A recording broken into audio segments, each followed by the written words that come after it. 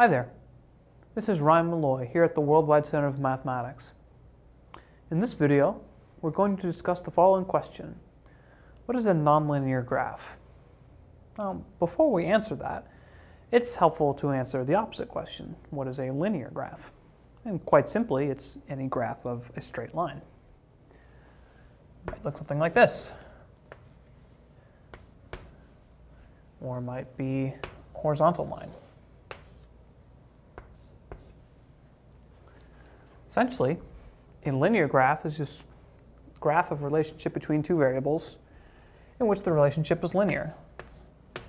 Typically of the form y equals ax plus b, where a and b can be any constants, including 0. For example, if you were to have both a and b set to 0, then you would just get y equals 0, which is simply the x-axis. So a nonlinear graph is simply any graph where the curve is not linear, which seems somewhat obvious, but there are many, many different curves and functions which can produce very interesting shapes. For example, we have our familiar parabola given by y equals x squared. That's nonlinear. It is a polynomial, but because we have a term degree higher than 1, it is a nonlinear polynomial. We can also have things that are slightly more exotic. For example, this curve.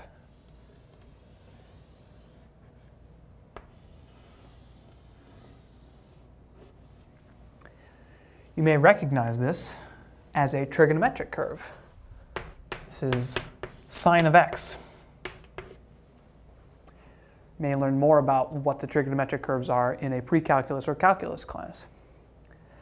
But there are other types of, or families of curves that may come up in mathematics. We have what's known as the bell curve, which I'll draw here in blue.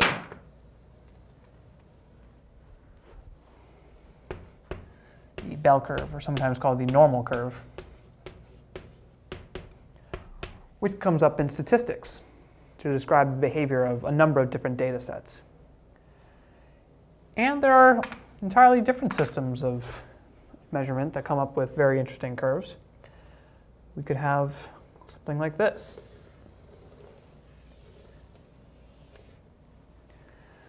Clearly, that is not the curve of a function because it doesn't pass our vertical line test. We see that in a number of places. We can draw a vertical line that crosses through our curve twice. But this is a function if we use something that's known as polar coordinates. There are several different systems of coordinates which can produce very interesting exotic curves like this. And of course, they're all nonlinear because a linear graph simply uses straight lines. And that's all there is to it. My name is Ryan Malloy, and we've just discussed what is a nonlinear graph.